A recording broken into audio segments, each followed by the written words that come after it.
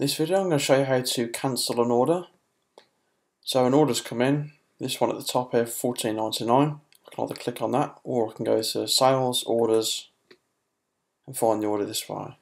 So there it is, it's a pending order at the moment. If I click anywhere on that row, it'll open the order information page up. And in the top right corner there's a button called cancel. So if I know that this order's not going to go through anymore, um, of they've not paid me any money so far, and unless you want to cancel it, it's an order that which doesn't matter anymore. All I have to do is click the cancel button. It will give you a last chance to um, decline doing that. Click OK, and then it tells you the order has been cancelled. And once you've gone past this stage, there's no recovering that order. That order is cancelled forever. If you scroll down, it tells you how much was due, but it's gone to cancelled, so it's no longer money which is outstanding.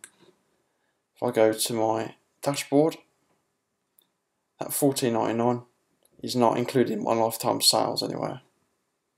Also, if I go to my orders grid and change the status to cancelled, find my cancelled order in that grid. So there we go. That's a, that's how you cancel an order.